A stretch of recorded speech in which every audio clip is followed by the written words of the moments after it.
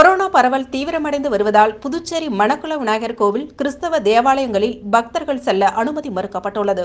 புதுச்சேரியில் உள்ள உலக பிரசித்தி பெற்ற மணக்குள விநாயகர் கோவிலில் நாள்தோறும் ஆயிரக்கணக்கான பக்தர்கள் சுவாமி தரிசனம் செய்து வருகின்றனர். புதுச்சேரியில் கொரோனா பரவல் தீவிரமடைந்து வருவதை தொடர்ந்து பல்வேறு தளர்வுகளுடன் ஊரடங்கு அமலில் உள்ளது. அதன் ஒரு பகுதியாக புதுச்சேரியில் உள்ள அனைத்து மத வழிபாட்டு தலங்களுக்கு பல்வேறு கட்டுப்பாடுகள் விதிக்கப்பட்டுள்ளன.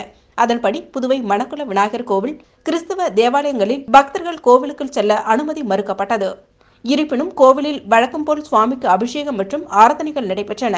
இதே நடைமுறை புதுச்சேரியில் உள்ள பல்வேறு கோவில்களில் பின்பற்றப்பட்டது குறிப்பிடத்தக்கது.